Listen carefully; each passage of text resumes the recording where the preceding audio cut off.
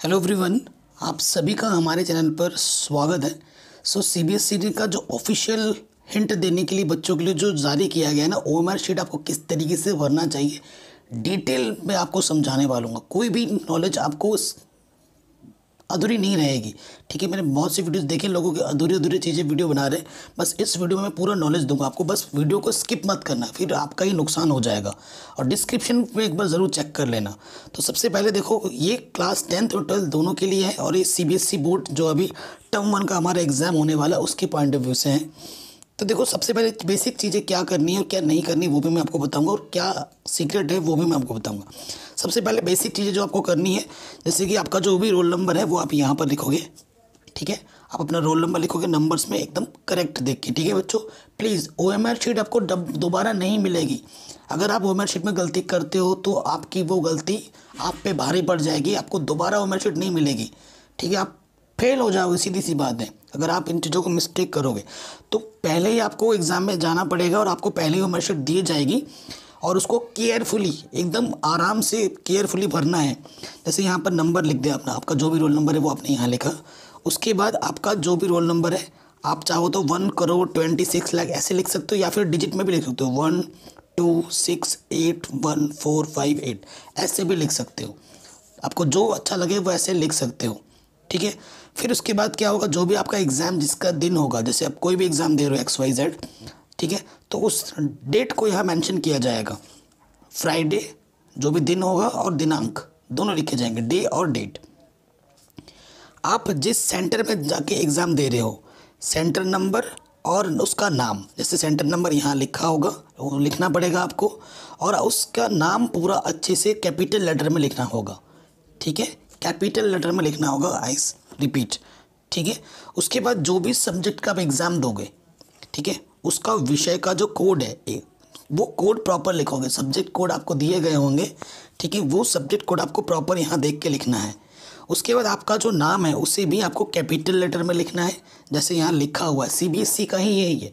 Rajesh Kumar proper लिख दिया। उसके बाद आपके पापा का नाम क्योंकि कई बच्चे ऐसे होते हैं जिनके नेम सेम होते हैं। तो पापा का नाम लिखा जाता है इस वजह से और पापा का नाम लिखेंगे वो भी कैपिटल लेटर में। फिर आपका जो स्कूल है, स्कूल कोड, जो विद्यालय, जो आपका नाम है आपका, वो आपको उस आपके विद्यालय का कोड आएगा और उसके बाद उसका पूरा नाम आएगा कैपिटल लेटर में। ठीक है? इसकी अच्छे से पहले घर में भी प्रैक्टिस कर लेना, वहाँ पर कोई भी मिस्टेक ना हो पाए। उसके बाद आपकी जो ओमर शीट होगी, वो नंबर यहाँ रहेगा। आपको जो क्वेश्चन पेपर दिया जाएगा, ये बाद में भरा जाएगा। ठीक है? पहले तो ये मिल जाएगी। फिर आपको क्वेश्चन पेपर मिलेगा। उस क्वेश्चन पेपर में ना पेपर का कोड होगा। उस कोड को आपको यहाँ पर प्रॉपरली लिखना है। ध्यान से देखते हुए लिखना है, बच्चों, पहले ही बोल रहा हूँ।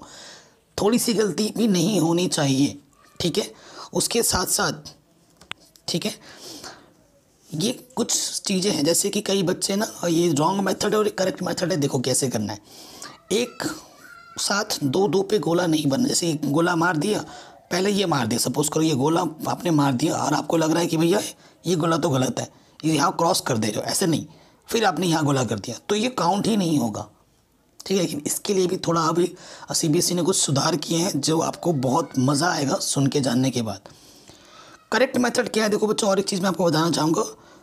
थोड़ा बहुत होम शीट जैसे मिले, ऐसे ऐसे कर दिया ऐसे ये काउंट नहीं होगा।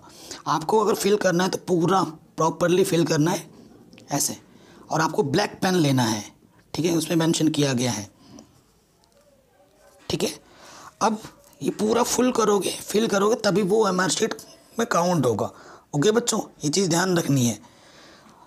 एक साथ दो दो, खाली छोड़ना नहीं है, बिल्कुल भी। दो दो नहीं भरना है हाफ़ नहीं भरना है, पूरा गोल करना है, ये देखो। इस तरीके से नहीं भरना है। ठीक है? पूरा अगर ले रहे हो तो उसको पूरा सर्कल बनाओ जैसे इस तरफ़ दे रखा है।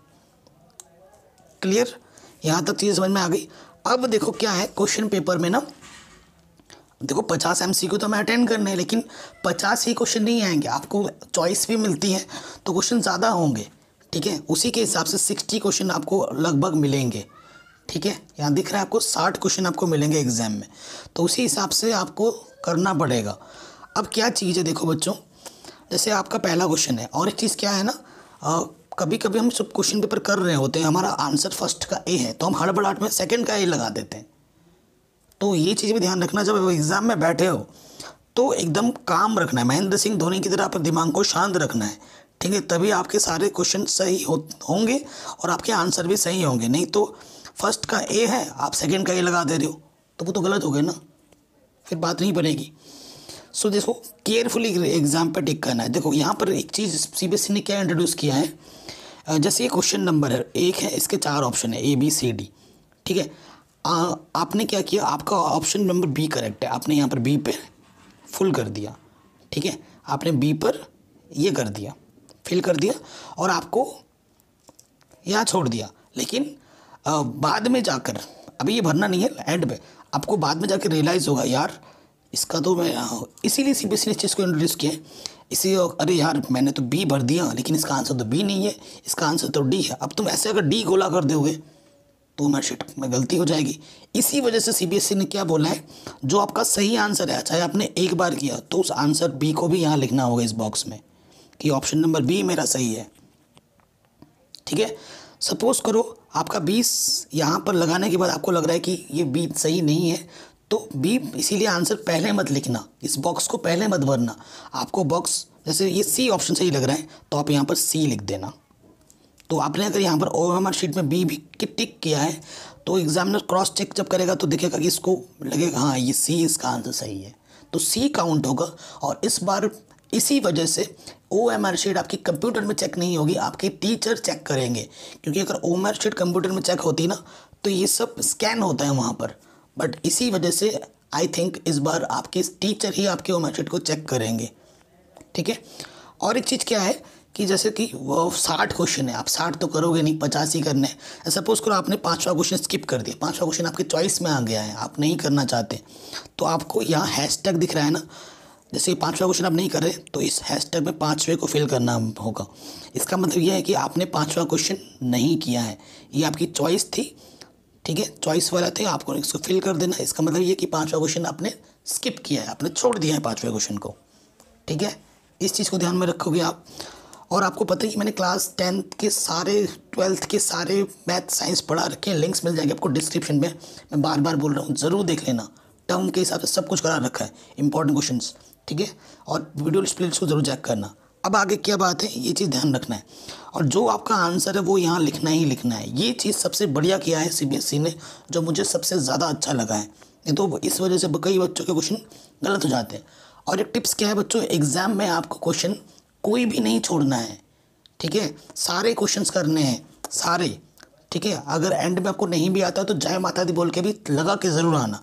छोड़ना मत। छोड़ोगे तो आपका घाटा होगा, फिर उसके आपको नंबर नहीं मिलेंगे। क्योंकि माइनस मार्किंग तो है नहीं तो इसी वजह से आप ज़रूर करना, कोई क्वेश्चन छोड़ना नहीं है। ठीक है बच्चों?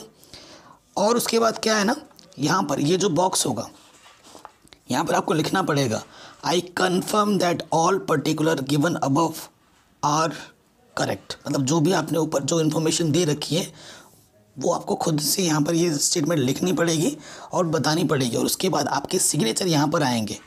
ठीक है? चलते हुए हाथ से, इसका मतलब सिग्नेचर करना है। कोई थम प्रिंट व्रिंट नहीं आएगा। आपके प्रॉपर सिग्नेचर होंगे जो आपने फॉर्म में भरा है। ठीक है? उसके बाद बाकी जो नंबर क्वेश्चन है आंसर वो तो वो देंगे। बाकी सिग्नेचर वगैरह जो है, वो तो एग्जामिनर करेगा। इन चीज़ों को आपको ध्यान में रखना है। इन चीज़ों को आप करोगे तो आप एग्ज़ाम में फोड़ोगे, वरना बहुत ज़्यादा गलतियाँ हो जाएँगी, फिर आप पछताओगे। ठीक है? तो इन चीज़ों को ज़रूर फॉलो करो, अगर एग्ज़ाम में फोड़ना है।